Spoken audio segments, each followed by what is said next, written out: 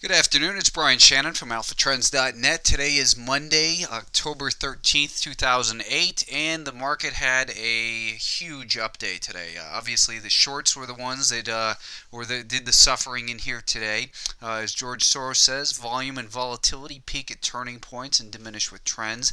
And we had the largest volume of the year, and clearly, I think, one of the most volatile sessions that we've seen, uh, I think, in my lifetime uh, last Friday with all those 700 point moves up up and down on the Dow, uh, where we were down 700, up seven, you know, up to even, back down 700, and then basically regained it all once again.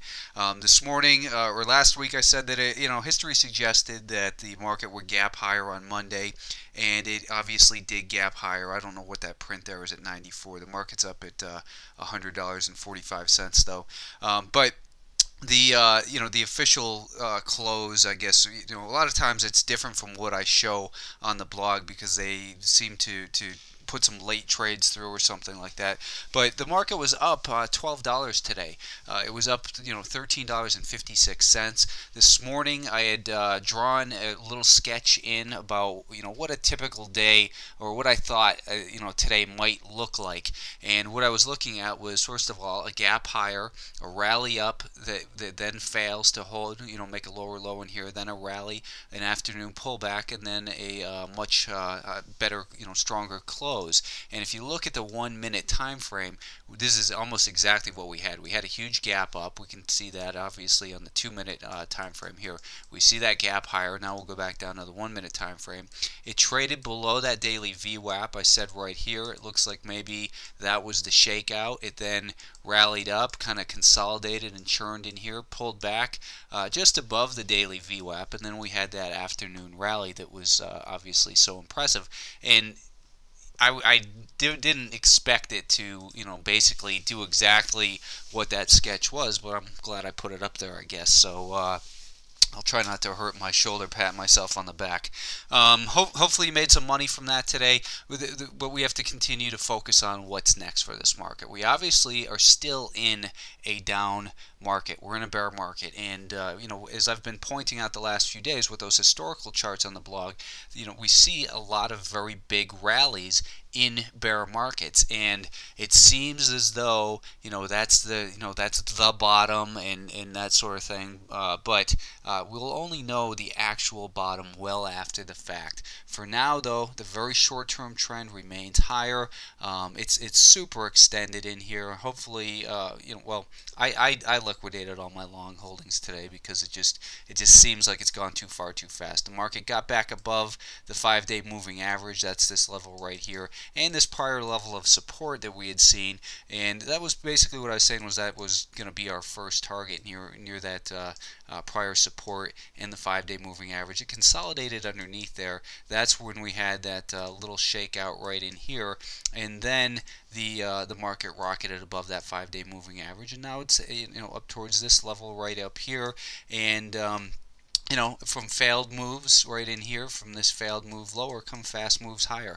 If we take a look at just the uh, most recent uh, leg lower. That is starting from October 3rd to the to the lows. We've retraced a little bit more than 50% of those. Maybe we can continue up towards 103.5, maybe up even towards 105.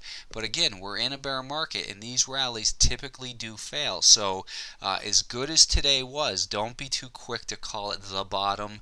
Uh, you know, just continue to manage risk. Obviously, the Russell 2000 was up $4.53 or 8.6 percent, and uh, the, you know this market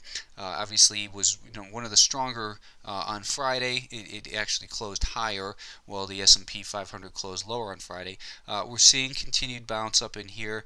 Um, you know, looking at the daily time frame, maybe we get a move back up towards that $63 level. But now that $63 level where we had seen the breakdown from right in here, uh, 63, 64, uh, this is going to be the next big level, similar to uh, what we had seen develop late to or you know throughout throughout 2007 as support and then act as resistance this year. It's a big level, and you know over maybe the next couple months we rally up towards there before it distributes again. But uh, you know, it, let, us just take it uh, short-term, uh, you know, basis here.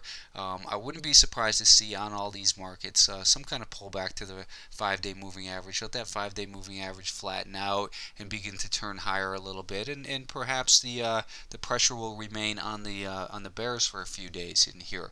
Gold did continue lower today, so maybe we're seeing a, a, uh, a return out of that uh, flight of uh, flight to quality, as they call it in the gold market. We do still have that declining 50-day moving average. It looked like it was, uh, you know, heavily defended uh, a week and a half ago, as we saw that rally. But Friday, obviously, it failed. Today, we're lower in here again. So no clear signs on gold. It's, you know, basically searching for some support in here, but uh, it, it's, you know, these prior lows that did act as resistance were back below there. So a lot of volatility in gold, and uh, you know, tough, tough to trade, I guess. The financials uh, were, were up, I guess, 10%, I think, on Friday. Uh, today we saw another 6.5% uh, follow through to the upside. We saw the, the big gap higher this morning. It came right up to that declining five day moving average. The market pulled back, rallied up to that five day moving average again, made a higher low, and then pushed above it late in the day. When we look at the one minute time frame, you can see it took longer for this market to recapture that daily VWAP. Right in here, it made a, a, slightly higher high, that was a good place to enter if you were getting involved. It made the lower low right in here, uh, and then that shakeout, and then the uh, the push higher into the afternoon. Financials obviously remain in in a world of hurt. Um, we're, we're getting up towards this prior uh, important level of support near that $17 level. So just be careful, uh, manage risk, raise your stops up, and let the you know let the message of the market tell you what to do. If we can get back above there and hold above there, perhaps we head back into the range up near that 50-day moving average near $20 a share. That's too far away to really call anything realistic yet, but maybe we get a pull back to that five-day moving average. The five-day moving average starts to advance, and then we can uh, rebuild a little bit in here. The uh, Nasdaq 100. Uh, this was the market I was looking at all day, and uh, again, you know, we, we got the gap higher. Obviously, we're, we're right up to these levels in here, and that declining 10-day moving average. When we look at a 10-minute time frame, uh, you know, we had seen obviously that the market gapped right up to that five-day moving average. I had suggested that if you were long, you take some profits off in there, and then perhaps set your stop below the low of the morning, uh, which was down near about uh, it, it hit the it hit the level that I suggested. Uh, but then when it regained that VWAP, that was the time to get it back involved with a stop below here. It remained strong right up till here. It uh, in fact I was pointing out these higher lows in here and then it made that lower uh, lower low right here. I thought it was maybe heading back down towards the VWAP and that would possibly be the shakeout that I was looking for um, and it ended up being the shakeout and closing right up near the highs. Again the market expended a lot of ener energy today. I think a lot of shorts really uh, panicked in here and uh, you know this is the hallmark of a bear, uh, bear market is that we see some of the largest most volatile moves during the course of a bear market. In particular, some of the largest rallies occur during bear markets. But if this bear market remains intact, which there's no reason to think it isn't on these longer term time frames, then this rally will eventually fail. I'm not going to say where I think it will fail because anyone who says, you know, how far do you think it can go? And I get a lot of emails saying that, how far do you think it can go? And my answer is always, let's just listen to the message of the market. Whatever your time frame is that you decide to engage the market on, you have to determine, do you come up with your higher lows to set your stops under on a 10 minute time frame? Do you do it on a one minute time frame and then re-enter? That's up to you to decide, uh, but uh, we're seeing some signs of improvements lower volume. We're still in a bear market, so nothing to get too excited about. Just continue to trade it in a very disciplined way and manage risk.